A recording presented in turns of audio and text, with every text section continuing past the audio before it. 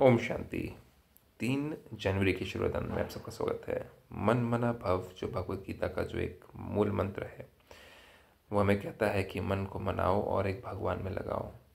तो परमात्मा कहते हैं इस वरदान में भी कि मालिकपन की स्थिति सॉरी मालिकपन की स्मृति द्वारा मन मना भव की स्थिति बनाने वाले मास्टर सर्वशक्तिवान भव।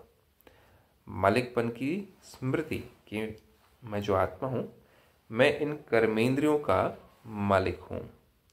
ये पाँचों जो कर्मेंद्रियाँ हैं, कर्म करने वाली इंद्रियाँ, ज्ञान इंद्रियाँ भी हैं इसमें, उन सबका मैं मालिक हूँ, उनको मैं जैसे चाहूँ वो वैसे चलाऊँ। आँखों को जो देखना चाहूँ, उनको आँखों से मैं वो चीज़ देखूँ, जो बोलना चाहूँ वो बोलूँ, जो सुनना चाहूँ वो सुनूँ, है ना? तो ये इसका मैं मालिक हूँ। तो मालिकपन की स्थिति द्वारा मन मनाभव की की स्मृति द्वारा मन मनाभव की स्थिति बनाने वाले मास्टर शक्तिवान भव।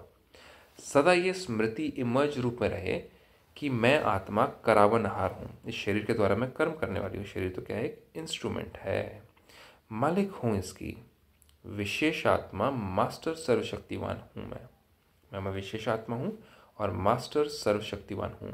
तो इस मालिकपन की स्मृति से मन, बुद्धि और संस्कार अपने कंट्रोल में होंगे।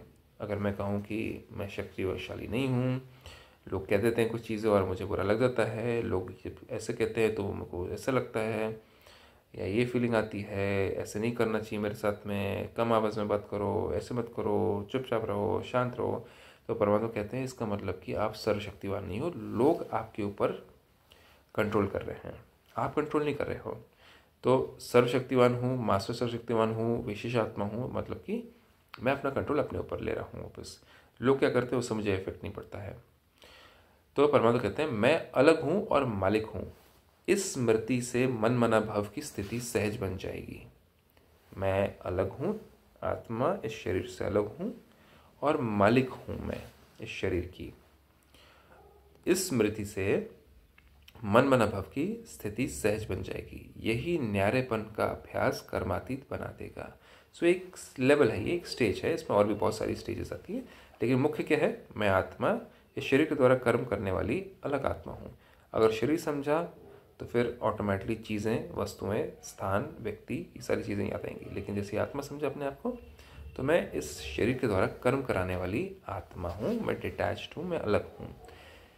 ये सब कुछ सिखाया जाता है ब्रह्मा कुमारी, उसमें आप आकर के इसको और गहराई से भी समझ सकते हैं। ओम शांति।